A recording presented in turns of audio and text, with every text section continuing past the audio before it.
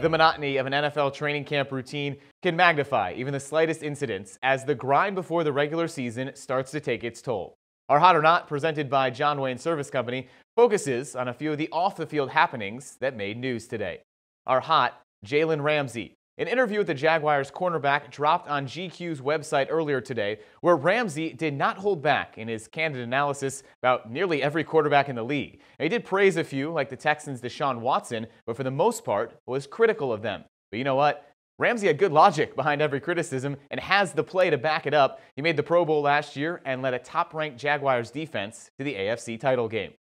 And are not DeAndre Hopkins. You saw it at the top of the show. Hopkins getting into a fight at the Texans Niners joint practice earlier today, and Hopkins was kicked out of practice following the fight with San Francisco cornerback Jimmy Ward. Now, in the long run, nothing to worry about, just emotions running high, but the immediacy of today's news cycle, it's not a good look for one of the leaders of the Texans offense. Hot or Not is brought to you by Jon Wayne Service Company.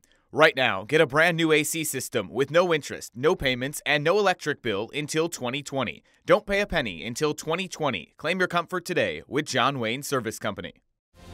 You're watching Sports2Nite, San Antonio's only nightly 30 minute sportscast with exclusive sports coverage you won't find anywhere else.